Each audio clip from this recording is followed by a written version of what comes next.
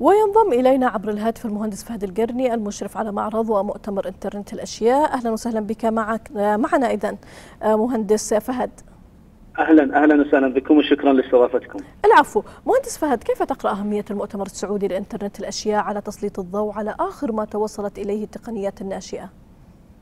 اولا المعرض يستقطب شركات محلية كبرى وعالمية تعرض آخر ما توصلت إليه من منتجات تقنية تخدم أو تكون داعمة للتحول الرقمي اللي حاصل عندنا في البلد وداعمة لرؤية 2030 أيضا على هامش المعرض يوجد هناك مؤتمر يغطي عوامل يغطي محاور مختلفة مواضيع مختلفة في التقنيات الناشئة مثل البيانات الضخمة وتعلم الآلة وإنترنت الأشياء والذكاء الاصطناعي.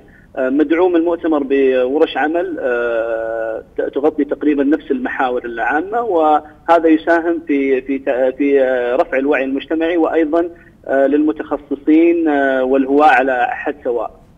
نعم يقدر حجم سوق الإنترنت الأشياء بنحو ثلاثة مليارات ريال بمعدل نمو سنوي مركب 26% خلال السنوات الثلاث الماضية.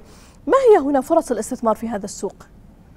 فرص الاستثمار عالية جدا خصوصا أن المرحلة القادمة ستتم ستكون تتمحور حول أشياء كثير يمكن ربطها بالشبكة. في المرحلة السابقة أو في خلينا نقول في المرحلة الأولى للإنترنت كان الربط بين الحواسيب. الآن هناك أشياء مختلفة جدا سواء أجهزة صحية أو أجهزة استشعار تخدم في الأمن أو في مصانع. عند ربطها ستوفر بيانات ضخمة. وسيكون ستفتح مجالات أخرى مثل تحليل البيانات مثل وهذه وهذه كلها تتمحور حول دعم القرارات فبإذن الله راح راح يلامس راح يلامس قطاعات مختلفة سواء من الصحة أو راح يلامس حياتنا اليومية وحتى في في مجال التعليم أو التعدين أو في صناعات مختلفة. إحنا هنا إحنا في المعرض بشكل عام نستهدف مفهوم التقنية الشامل نعم. ونغطي ونحاول نغطي يعني نحاول نشكل الصورة العامة وتكون مشاركة الشركات تتمحور حول منتجاتها التي مربوطة في القطاع اللي هي تقدم خدماتها فيه. ما هي أبرز البرامج والمبادرات التي من الممكن هنا أن تحفز وتبني تقنيات الناشئة من خلال المؤتمر السعودي لانترنت الأشياء؟